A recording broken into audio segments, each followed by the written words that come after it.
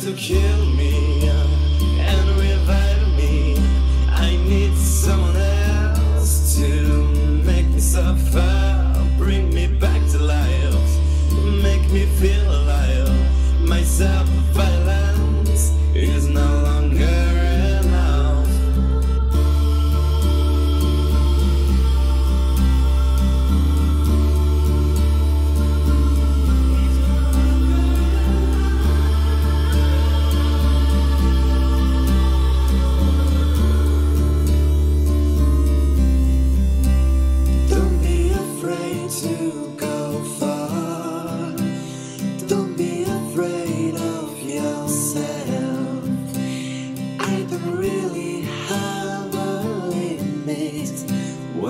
Comes to suffering, consider me like an abandoned.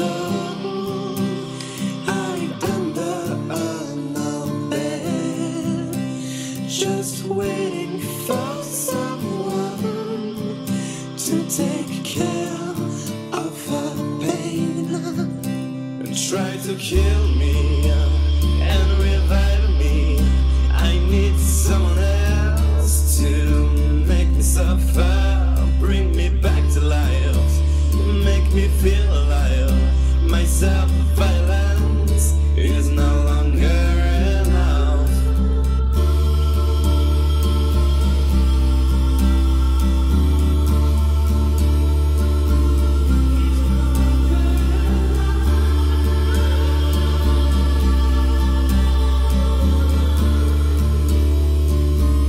It's no longer